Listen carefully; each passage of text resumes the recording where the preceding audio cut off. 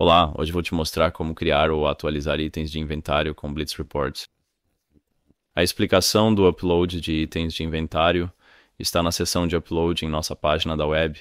Então, se você for para upload de item de, de, inventário, você encontra a descrição breve do que pode fazer com ele. Você pode, por exemplo, criar itens de inventário a partir de um modelo de item, é, ou pode criar itens de um item existente na mesma organização, ou você também pode atribuir itens a organizações adicionais a partir do master. E você também pode usar o upload é, do item para atribuir itens a categorias e assim por diante. Então deixa eu te mostrar como isso funciona. É, vou fazer o upload na plataforma OpenAbility. E, então você escolhe o upload de itens. E aqui você tem templates é, padrões. Então nós preparamos alguns templates para as diferentes áreas funcionais, porque os itens de inventário têm muitos, muitos atributos. Então, se você abrir um desses templates, ou se você pegar e olhar o template, você vê que há muitas colunas, é, no total são 310 colunas diferentes, que podem ser atualizadas.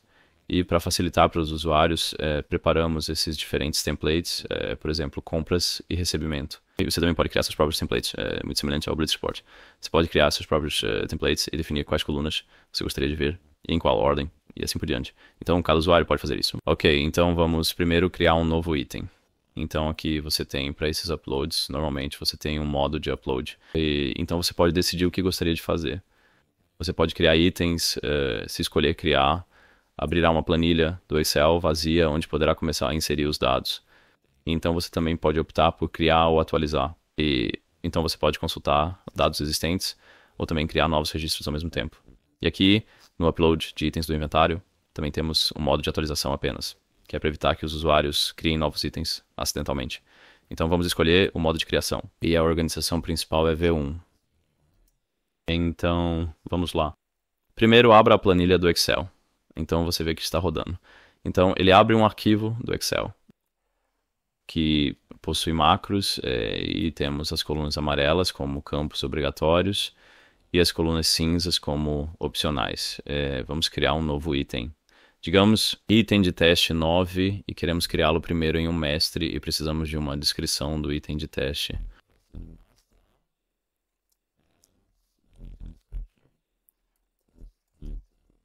Nessa descrição, assim, e aí também gostaríamos de criar o item na organização M1 também. E isso deve ser atribuído da organização mestre, assim.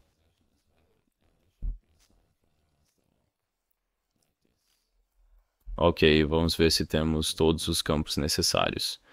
Você pode salvar e depois fazer o upload. Agora vou enviar o arquivo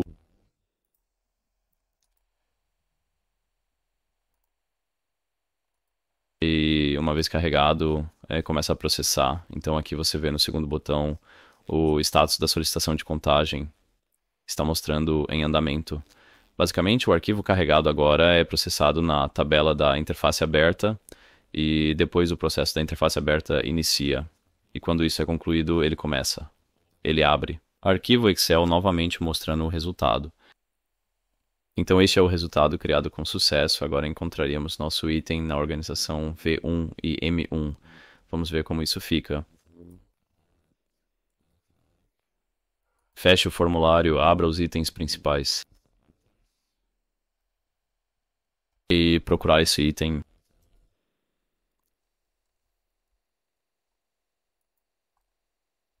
Então aqui está nosso item e ele também está atribuído à organização M1. Então essa é a criação de um novo item. Mas um dos benefícios do Blitz Report é que você também pode facilmente atualizar itens existentes. Então, é, vamos supor que não gostaríamos de criar, gostaríamos de atualizar itens, ou podemos manter o modo de atualização do criador, ele faz os dois. E então gostaríamos de, uh, se quisermos atualizar um grande número de itens, é melhor escolher um número maior de trabalhadores paralelos, porque podemos executar a atualização em paralelo. Vamos supor que gostaríamos de atualizar todos os compradores padrão para a organização V1, que é a organização mestre. Então gostaríamos de atualizar tudo, todos os itens, onde o comprador é o Sr. Richard Fox para outra pessoa. Então podemos primeiro consultar todos os itens que são todos esses, é, cerca de 2 mil registros. E agora, onde está a coluna do comprador? Aqui está o comprador padrão. Vamos supor que gostaríamos de atualizar para outra pessoa, é, Sr. Carl Blomberg. Então podemos. Atualize os itens, depois salve o arquivo e faremos o upload do arquivo inteiro. Para o servidor, assim. E agora está um pouco maior e o processamento primeiro retira os dados do arquivo Excel e depois divide em 10 lotes paralelos que definimos aqui. E depois executa o processo de interface aberta do Oracle em paralelo 10 vezes. E então, ao final, quando o último lote paralelo for concluído, ele mostra o arquivo de saída.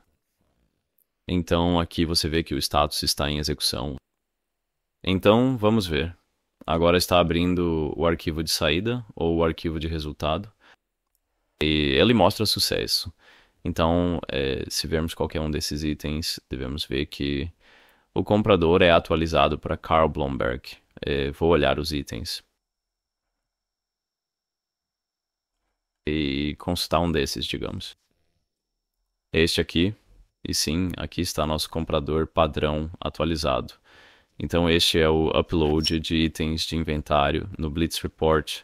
Obrigado por assistir.